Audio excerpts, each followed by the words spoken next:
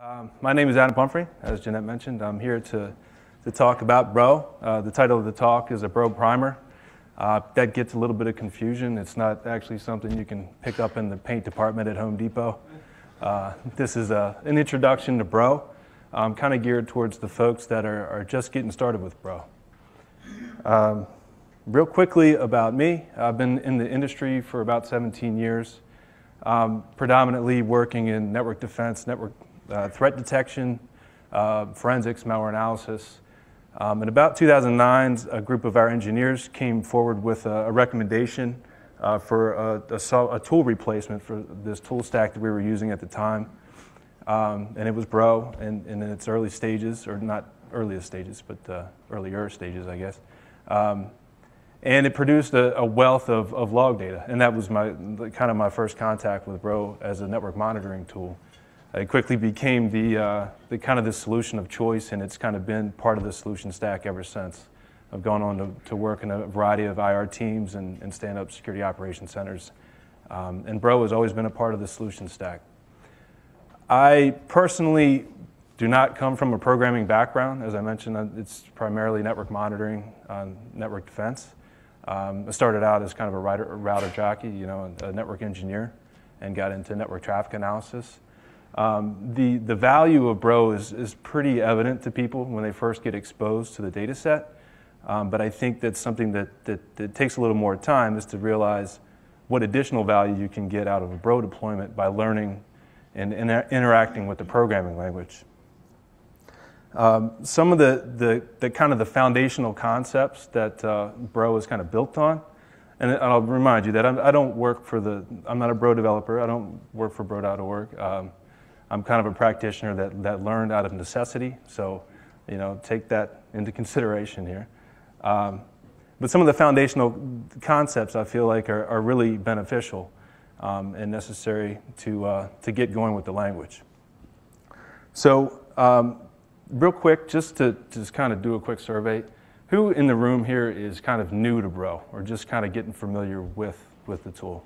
Okay, great. That's, uh, that's actually a lot more folks than I anticipated. That's good to know.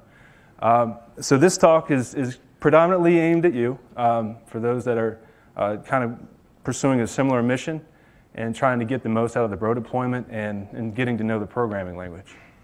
So I'd like to break uh, Bro down into kind of two core components. That's the event engine and the script interpreter. Uh, packets enter the event engine. Um, analysis takes place. I'm, I'm, kind of oversimplifying here just for the sake of the discussion. Um, analysis takes place of those packets, and the event engine turns the, those packets and that packet data into higher level events. Um, those events are then made available to scripts written in BroScript um, by way of event handlers. Those event handlers do some processing of the, the records that, that are contained in the events that are generated. And then in some cases, they themselves can also generate events and uh, it kind of it can kind of happen in a cyclic fashion. Um, you know, you can have an event handler generate another event that's sub- subsequently handled uh, by another event handler. Um, and then, as this is all going on, of course, Bro produces its log streams. There's a, a, a ton of uh, very useful information um, emitted in the log streams there. And it's also capable of extracting files out of the streams and that's uh, some, some functionality that uh, most people are, are, very interested in, uh, in particular in the, in the world of network defense for you know, um, a local network. So a couple of things I want to talk, talk about or touch on real quickly before I get into the rest of it. Um, kind of some assumptions I'm making here. Um, as a Bro user, you're aware of the local.bro policy file. This, this ships with Bro. Um, it's kind of the, the, the, primary mechanism for you to make customizations of your Bro deployment. Uh, you can redefine variables here. It's, it's a full-blown script file, uh, Bro script file, so you can, you can technically include any Bro script in this file. Um, as you get into more, more advanced deployments, you're probably going to want to split those scripts out into separate files just for organization's sake. Um, the second thing is that Bro uses what's called a load directive, and that kind of gets things going um, from an execution perspective. Very, very similar to include and import from other languages. Um, but that load directive specifies a script or a module. um, that you would like the script interpreter to load and execute. Uh, the final thing, and I think this is something that's critical to any Bro deployment, is making help, helping Bro be more aware of your environment. And I, you can draw the association to Snort or Suricata environment variables here, um, but I really think it, local nets and local zones um, that belong to the site module are actually more powerful than that. There's built-in functionality, um, some built-in functions in particular that allow you to do kind of locality tests on IP addresses and even uh, DNS names to see if those DNS names uh, belong to a particular DNS zone. So one of the, the core concepts, and something I've, I've mentioned briefly already, is the notion of an event. Um, Johanna's talk just uh, outlined some of the, the new SSL events that are going to be in an upcoming release. Um, and there are a ton of events um, that are there available to you for a wide variety of, of analysis tasks. Um, showed this slide a couple, uh, this diagram a couple slides ago. Um, the next few slides are going to kind of concentrate on what goes on uh, between the event engine and the script interpreter, kind of the interplay between those two. Um, to kind of step into this a little bit deeper from a different angle, actually, um, a little. Um, so Bro starts up and establishes a runtime. Um, Bro can declare events, and Bro Core subsequently creates event queues. And the script interpreter gets going and executes those load directives and, and parses scripts and starts uh, running, running the, excuse me, ex executing those commands. Some of those scripts may also de declare events and subsequently event, other event queues are created. Those scripts can also declare event handlers and they attach to these event queues in a priority. Uh, I have the range of positive 10 to negative 10 here. Um, and this is, a, this is an attribute that's actually assigned to event handlers when they're created or when they're defined. I think the, uh, the range can actually go beyond this, but in practice, you typically want to stay within a, a positive 10 and a negative 10. So as packets enter Bro Core, again, Bro Core, uh, Bro does the analysis on these packets, generates higher level events, they enter these event queues where they're made available to the event handlers in the priority that they set when they're defined. And then in some cases, those event handlers also generate events and they enter event queues where they're subsequently handled by other handlers. So I've been kind of talking generically about events for a couple of minutes here, um, but I want to step through a couple of, specific event types that I think are, are very important um, to become familiar with when you're, when you're getting started. The first is the Bro process event. If you've uh, you know, done the, the hello, hello world um, example, your print statement is going to go in this Bro init event. It, as you might have guessed, is uh, triggered when Bro starts up. Um, this is where you're going to do your work with log streams. You're going to create log streams, apply log filters, things of that nature. Um, the, other, the other main the significant event that's uh, tied to the Bro process itself is Bro done. And of course, that is, that is triggered when Bro's uh, shutting down. Uh, the next category of event that I want to talk about is the connection state events. Um, new connection is what it sounds like. It's an event that is triggered when Bro observes a new connection that it wasn't previously tracking. Not much is known about the new connection at this point. Um, when Bro sees the response, say in, in, the case of a TCP session, uh, sees the SYN ACK in response to the, that initial SYN. It triggers the connection established event.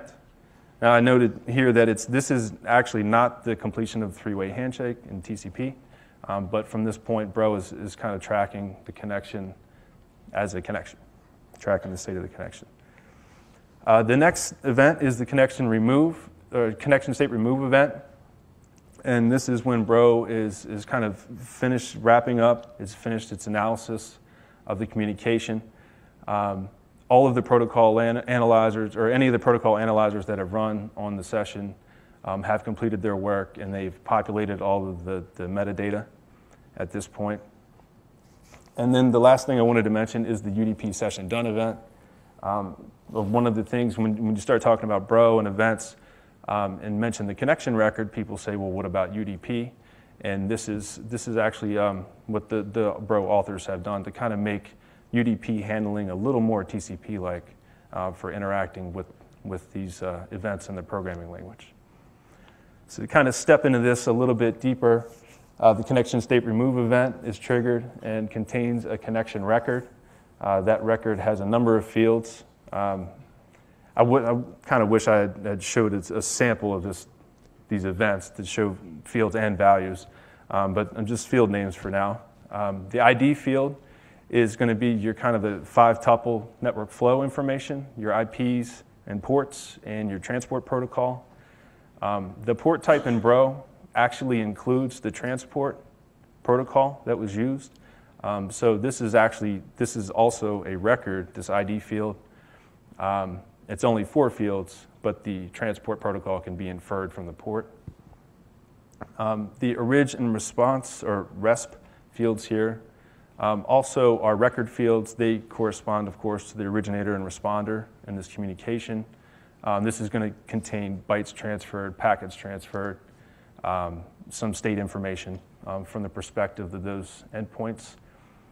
Um, the history field is also kind of interesting. Uh, this is uh, kind of a, a tracking of uh, connection state uh, from the perspective of both endpoints. And if you're having trouble with drop packets or asymmetric routing, um, you're going you're to see some evidence of that in this history field. So in addition to all that, um, the connection record also has a number of optional fields that correspond to some of the application layer protocol analyzers. So if any of these analyzers, uh, one of these analyzers ran, um, you're going to be able to access uh, the, that protocol information right from this connection record within this event handler.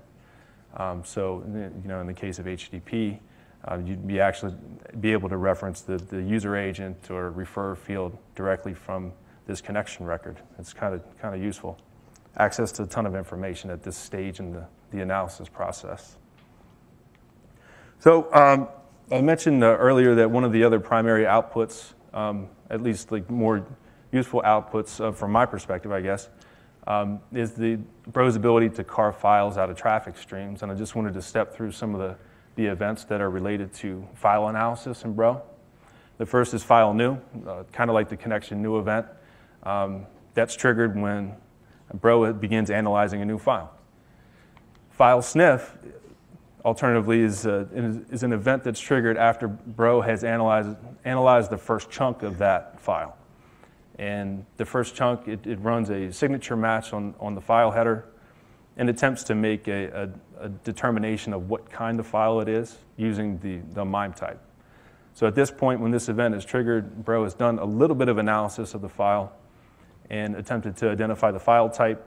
And that, that information, that meta information, is available um, in this event handler.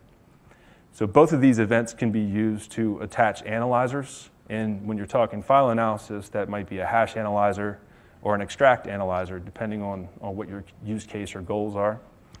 Um, but it's just important to know that file sniff, if you're going to attach, say you want to extract files of a certain type, you can use file sniff to make that determination. Check the MIME type field and then attach the extract analyzer if that's what you need to do. The last event that I wanted to mention regarding file analysis is the file state remove event. And this is triggered, as you might have guessed, uh, when Bro is kind of has completed its analysis of the file and it's, it's going to shut down its state tracking. Um, this is kind of notable because at this point, if you've attached an extract analyzer, um, that extracted file is now sitting on disk. And within this event handler, you can, you can do things with that file. You can move it to another directory, uh, submit it to an API, things of that nature. So something to be useful, uh, be aware of there. Um, again, kind of to step through the step into the uh, file state remove event. That's triggered with an FA underscore file record, and this is kind of Bro's um, record or container for all of the, the metadata that it collects for the file. The ID field in this case is not your network flow information. This is the unique ID of the file itself from Bro's perspective. Um, source is going to reflect the source, uh, probably an application layer protocol, the, the transfer mechanism um, that the, through which the file was discovered. And the info record or the info field here is actually the info record from the files framework. And the, these are two separate things. Uh, the files framework, um, this info record from the files framework is going to contain all kinds of, of metadata uh, about the file as it was analyzed by Bro. Um, so you can access, actually access that metadata even uh, by handling this event. Of course, the total seen and missing bytes are important. Um, if you're extracting files in particular, you're having, you're having problems with uh, errors related to truncated files and things like that, you definitely want to take a look at this missing bytes field and make sure that you're getting every, everything for the file. Um, kind of like the connection record, um, the FA underscore file uh, record also includes some protocol specific fields. Uh, if the HTTP, IRC, or FTP protocol analyzers ran, these fields are going to be populated and accessible in this event. So uh, I talked about the connection state, bro process, and file analysis. Um, I just wanted to throw up this massive list of other application or protocol related um, uh, protocol analyzers that generate events. Um, I'm not going to get into the specifics here. Johanna just detailed a number of events that are, are generated by SSL or will be generated by SSL in X509. Um, but just be aware that there is a ton of information out there as Bro is going through its analysis process for these sessions. It's triggering events for each stage, typically each stage of that, that analysis process. And um, there's, there's, it's, it's, it's very useful, tons of information that can be gleaned from handling these events. So one of the things I wanted to do in this talk is kind of try to lay some foundation for people just getting started with the language in particular, um, and then provide some references, some pointers to, to more information um, to kind of continue to, to look into the subjects I just uh, outlined there. The top URL is a, is a list of um, protocol independent events that Bro generates. Um, these are going to be events that Bro Core itself generates. Um, the connection state remove, um, file sniff, uh, file new, those are all actually generated by Bro Core. Second URL here and apologize, that's hard to see. Um, this is a list of the Bro plugins, or plugins that ships with Bro. And in, in particular, this will give you an idea of um, all the protocol specific events that, uh, that these protocol analyzers generate. As you browse this URL, you'll see a big list of, of, um, of script files that uh, have event declarations in them. Uh, and then the last URL here is just a link to the uh, files framework, specifically the log files event. Um, that is the event that's, that's specifically generated by the files framework, and that's generated when um, that file metadata, that, that collected metadata is actually being written out to the files log. Um, I mentioned the files info record before, and that's, this event is where you're going to find that. So um, just talked about events. Um, I want to step into the, um, the output, specifically the log streams and um, log filters, which I think is a great capability of Bro. Um, we as network defenders and network traffic analysts, uh, kind of one of, one of our primary tasks is to categorize the, the data that we're working with, understand what's incoming and what's outgoing, if it uh, internal web server or external web server. Um, just kind of break that down into to more useful buckets, understandable buckets. Um, as most of us know, uh, Bro has two uh, output formats for its logs. The first is tab delimited, that's a native format. Um, Bro ships with the command line tool called Bro Cut, um, and that's, that's built to work with this tab delimited format. Um, if, you're, if you're into using awk, uh, grep, grep, awk, and sed, um, and working on the command line, uh, that's probably the format for you. Um, it also supports JSON, and uh, that's, you know, if you want to do a, a little bit, uh, you want to interface with Bro event data from a, a programming language, there's a, a, number of, of libraries out there that uh, can read and write JSON. Um, so that might be a, useful event format for you. Um, if you want to turn on JSON, Bro makes this very easy.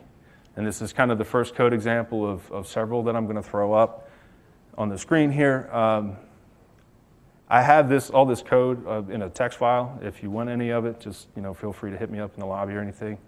Um, but just wanted to, to, to, highlight some of the features of the language by stepping through some of these examples of, of, of tasks that we find ourselves needing to accomplish. Uh, so in this case, we just want to turn on JSON logging, and we're going to use the redef statement.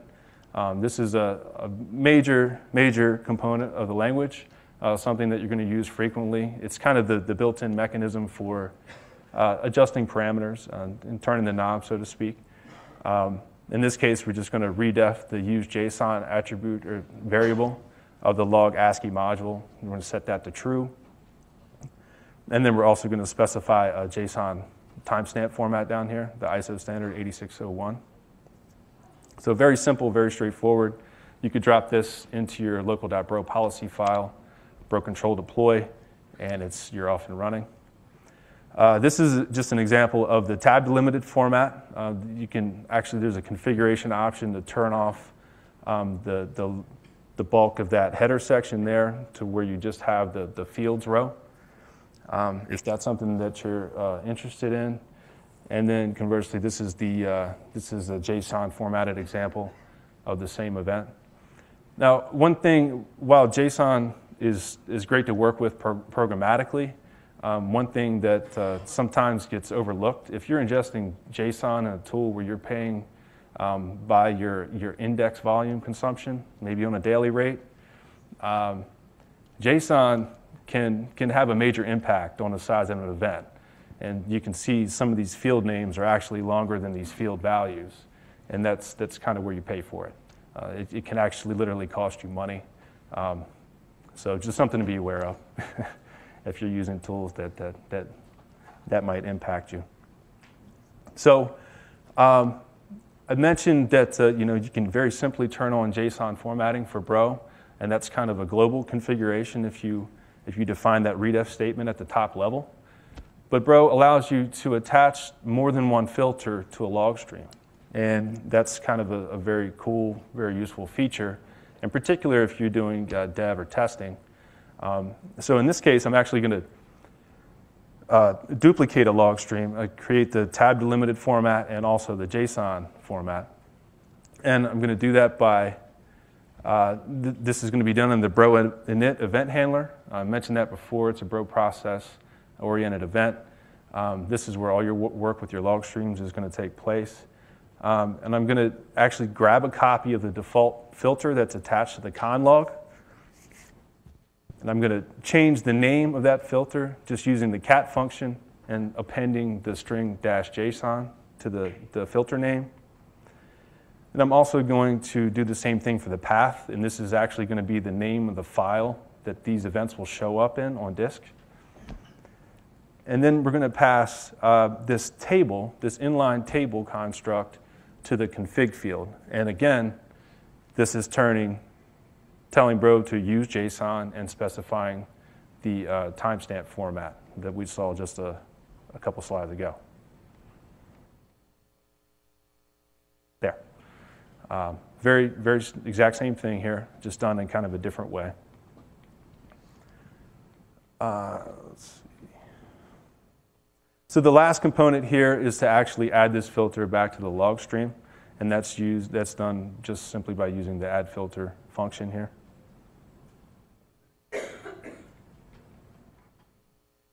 So um, sometimes people, yeah, I get it. You can duplicate log streams and, and generate more data than um, you originally had. What if I just want to turn off a log stream? Well, that, that's very easy to do too.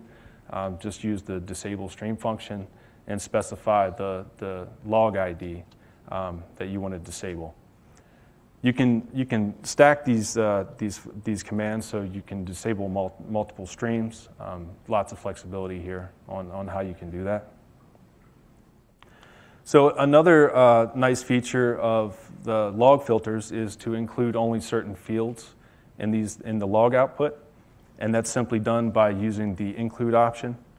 Um, just as syntactically, I just wanted to point out something here.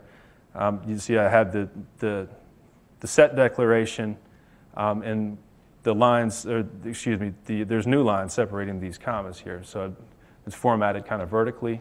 Uh, syntactically, that works perfectly fine. You're going to see that a lot in the language, in the, in, in the source code in particular. It's uh, functionally the exact same thing as that. What, not, what isn't allowed is that, and that's both of them. Uh, I just thought that kind of looked funny. Um, so instead of just including certain fields in the log stream, maybe you want to remove certain fields from the log stream. Um, and you can do that with the exclude option or the exclude field. Now, this is a little bit of a different uh, approach to doing the same kind of thing. Uh, in this case, I'm going to remove the default filter from the SMTP log, and then I'm going to replace it with a new filter that I'm defining in line here. Uh, the filter name is going to be no SMTP recipients, and I'm going to pass a set of strings. Those strings would be the field names that I want to exclude. We're going to pass that as, a, as an argument to the exclude field.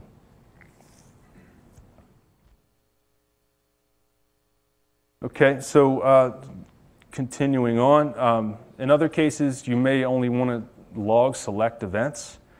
And this is something, you know, um, it, again, uh, maybe you have limited disk space or you're paying um, by daily index volume and you can't, you, you, know, just simply can't afford to write everything. Um, you, can, you can do that very easily with this uh, predicate option. And it's a, the field is abbreviated as uh, pred here. Um, and this is done by passing a function that returns a Boolean. Uh, this is a, a, Boolean, so if the, the test is true, then the event will be written to the log stream, and the test is false, it won't. That's very simple.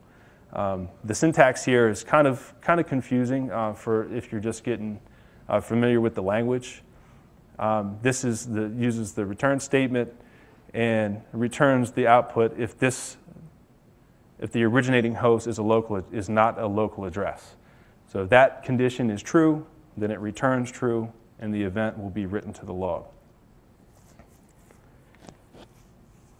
Another very cool feature, and the last, uh, kind of the last thing I'm going to mention about log filters, is that uh, you can use a, what's called a path function to determine what log file events actually show up in.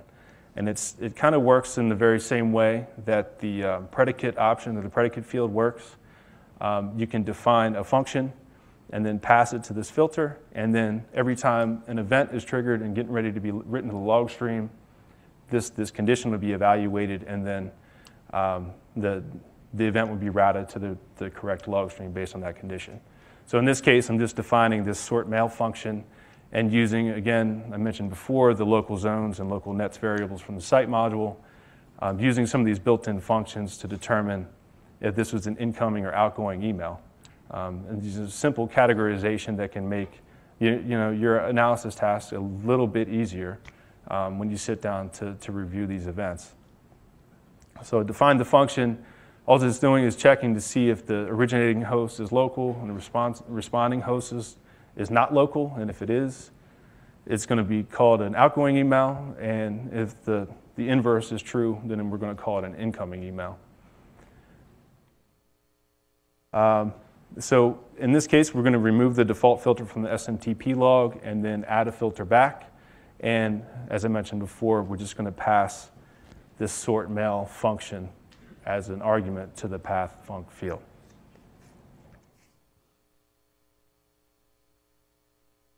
So um, we talked a lot about uh, log filters uh, over the past couple of slides. Um, maybe you're not, you, have kind of sliced and diced your logs to the, to the extent that you, you really wanted to, and you want to start adding information to these log fields. And that's, uh, that's something that that Bro also makes very easy. Um, so I'm going to step through an example of how that would be done. Uh, for this example, I'm going to use a, a metric that's uh, known as the producer-consumer ratio. And this is actually something that was taken from a talk that uh, a gentleman, a, a, couple of gentlemen, uh, Carter Bullard and John Gerth did at FloCon in 2014. Um, PCR is described as a normalized value indicating directionality of application information transfer independent of data load or rate. So it's a, it's, it's a calculation done using the, the application bytes from the, the originator and responder. And I, I, I like this, this metric. I, I, think it's a very useful, kind of quick reference way to get a sense for data flow in a, in a network communication. So um, to add this field, I'm going to add this field. To, to, I want the, this field to show up in the connection log. So what I'm going to do is extend the con info record and add this PCR field. I'm going to use the log attribute. Uh, this is important uh, if, you're, if you're new to the language. Um, be very, be very mindful of these attributes. Um, you have to use this log attribute if this field is going to show up in the, in the log file. And that's something that, you know, when you're getting started, this is frequently overlooked. I did it myself many times. Um, and it's also, uh, if, if you're not going to require this field, it's also useful to include the, the optional attribute here. Um, in certain situations, maybe there were no bytes transfer, transferred or the, the bytes uh, fields weren't populated for some reason. Um, you want to be able to catch those situations and, and not blow things up. Oh, timing's awful on this. Uh, so um, the next step, I've, I've extended the continfo record, and that includes now includes the PCR field. The next step is to populate that field, and that's going to be done by handling the connection state remove event. Um, I wanted to point out that the priority of this event, and I talked about priorities a, a, few slides back, the priority of this event is three. Um, the first thing I'm going to check is to see that the orig and response bytes fields are there, are present. And this is the syntax uh, for doing so. Uh, when I first saw the syntax, I was a little confused by this. Um, but this is the syntax to, to make sure that a record field exists. Um, the next uh, test here is a, um, a, value test, and, and this is just sim simply an example of how you can catch situations. Um, what, I'm, what, I'm, trying to do here is uh, avoid dividing by or into zero. Um, so I'm going to catch the situation where the originating and response bytes are both equal to zero and set that statically to 0.0. And finally, uh, if we get past those conditions, uh, we're going to come down to the bottom and perform the calculation and then add that value to the PCR field. So um, now we've added a field to the stream, and let's just say hypothetically I've, I've saved that script off and called it calculate PCR. It's sitting in, in my local scripts directory. Um, and I want to start working with this metric. I want to start uh, kind of formulating some, some pointed analysis approaches um, and I want to apply it to, uh, to HTTPS and try to, try to determine if there's being uh, files transferred over HTTPS because, again, of course, it's encrypted and uh, you can't see that. And we're not going to be able to carve the file out of the stream.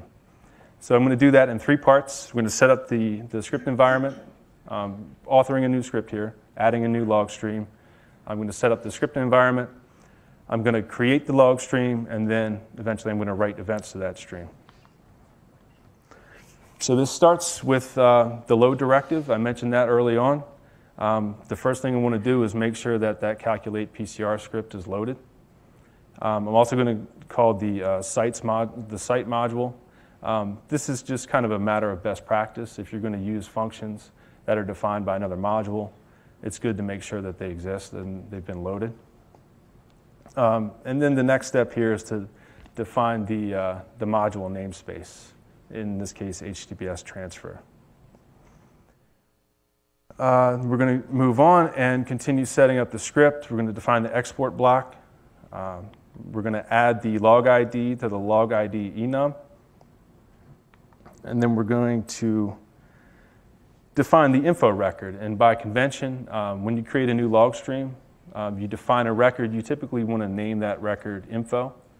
Um, and this is where you're going to set the columns that are going to show up in your log stream. In this case, um, including the timestamp, the unique ID from the connection record, uh, my IP information, the PCR value, and then some information from the SSL exchange. Finally, the last event, or excuse me, the last statement down here is to uh, declare the log HTTPS transfer and that's going to be the event that is generated whenever uh, an event is written out to this log stream. So the next step um, in, in authoring this script would be to create the log stream itself. And uh, as I mentioned, this is, uh, this is going to be done in the bro, in, bro init event handler, um, specifically using the create stream function. Um, we're just specifying um, the HTTP uploads uh, I'm sorry, that's a, that's a typo there. Uh, this is supposed to be HTTP transfers, uh, log identifier. Um, and then also we're going to pass the log stream record. And in this, we're just defining this log stream record in line here, um, specifying the HTTPS transfers info object as um, for the argument for the columns field, the log HTTPS transfer as the event, and then defining the path, which is again the file name these events are going to show up in as HTTPS transfers. Hmm. Um, so the, the next and final step is actually write, write events out to this stream. Um, this is going to be done again in the connection state remove event handler. Um, I wanted to point out that uh, in this situation, there's a number of ways you can do this. Um, but in this situation, I use a priority of zero. I think zero is actually the default priority for event handlers if you don't specify one. Um, the point is that this would be this handler would be executed later than the previous event handler that populated the PCR field. Um, in this case, I'm just uh, uh, going to do so, a, a, value test on the PCR field. But also wanted to mention here again uh, to reiterate best practice um, when you're writing BroScript in, in, any programming language for that matter. Um, just make sure that the field that you're operating on is going to exist in the record. Um, and, and that's what I'm doing here with the, uh, the syntax, the question mark, uh, dollar sign syntax. Um, this is the kind of the remainder of that event handler. I had to, to truncate that. Sorry about that. Um, and you know, again, I've instantiated a, a, local instance of the info record, and I'm populating all the fields using information out of the connection record that was contained in the uh, connection state remove event. Um, and one thing I wanted to point out too, another little syntax thing that kind of blew my mind when I initially saw it. Um, and this is this uh, con conditional statement down here at the bottom. Um, it's kind of hard to understand if you're not familiar with it, but essentially what it's saying is if this field exists, then use the value of the field, um, which would be the value, the, the SSL subject field to the left of the colon here. And if the field does not exist, just use an empty string.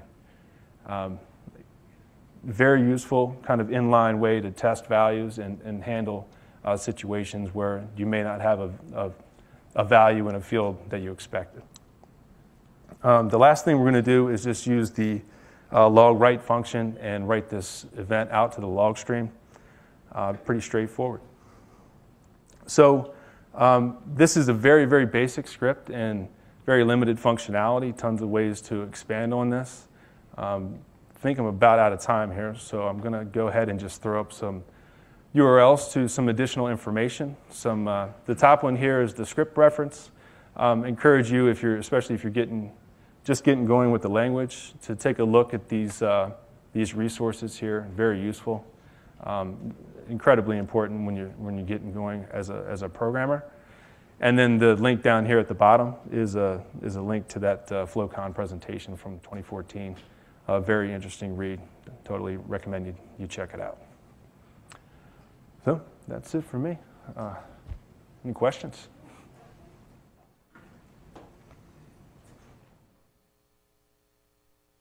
All right.